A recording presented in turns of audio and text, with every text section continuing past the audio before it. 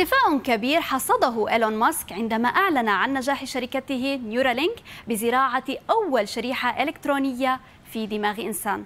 إلا أن هذه الخطوة لم تكن إلا البداية.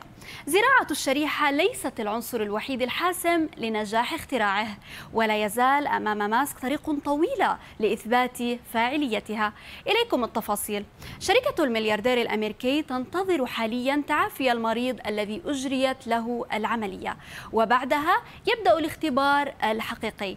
ماسك أكد في لقاء مع وسائل إعلام عالمية أنه ستصدر خلال هذا الأسبوع النتائج عما إذا استطاع المريض التحكم بالفعل بهاتف وحاسوب عبر أفكاره. هذا هو الهدف الأساسي أصلا من الشريحة التي وعد ماسك بأنها ستستطيع إعادة البصر للمصابين بالعمى وحركة العضلات للأشخاص العاجزين. وحتى لو نجح المريض بالتحكم بالهاتف عبر أفكاره فإن طرح هذه الشريحة في الأسواق لن يكون في أي وقت قريب.